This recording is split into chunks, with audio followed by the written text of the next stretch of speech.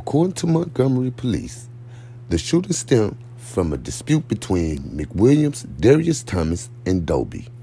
Montgomery detectives said that Darius Thomas was angry at Doe B because the rapper had refused to help him get into the club that night.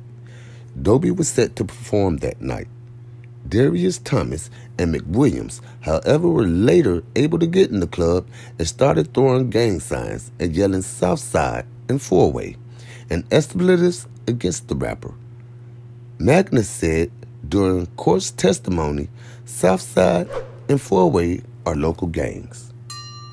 Darius Thomas and Doe B soon ended up face to face, and the rapper allegedly mushed Darius Thomas in the face. Darius Thomas then raised his arm to knock his hand away, and a bottle went flying, according to the detectives. Magnus said witnesses told the police McWilliams later began shooting erratically across the crowd, while Darius Thomas began shooting from the stairs, fell to the base of the stairs, and continued shooting from the floor. Centennial Hill Bar and Grill, formerly the Rose Supper Club, closed following the shooting.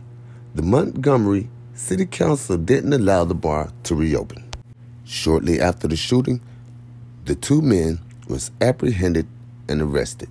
The 29 year old Thomas accepted a plea deal the second day of his trial after originally being charged with capital murder, two alternative capital murder charges, and several assault charges for those who were shot but survived the ordeal on December 28, 2013, at the Centennial Hill Bar and Grill. In a phone call, Thomas' fiancee, LaQuinta Stewart, maintained that Thomas only accepted responsibility for starting the shootout by arguing with Doe B, a Montgomery rapper on the rise who signed to T.I.'s Grand Hustle record label in 2012.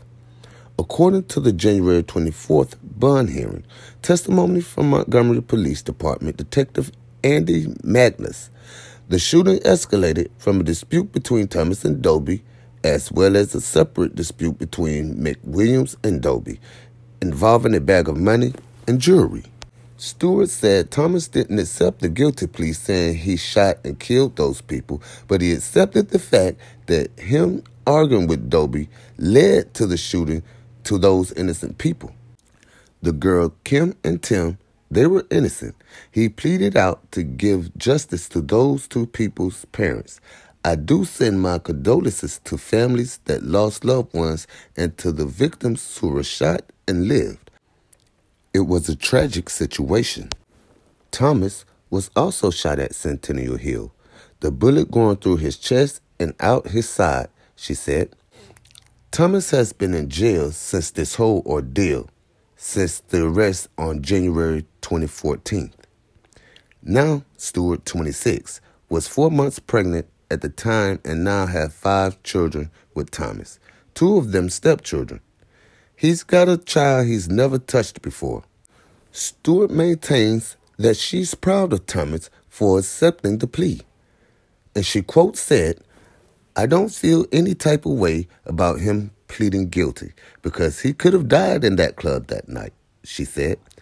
I thank the Lord for keeping him here for us. I'm just glad everything is over with. And I do thank the families for accepting his apology. They didn't have to do that, but it took a lot for them to do that. End quote. Thomas ended up giving a lengthy apology to the parents of the victims involved.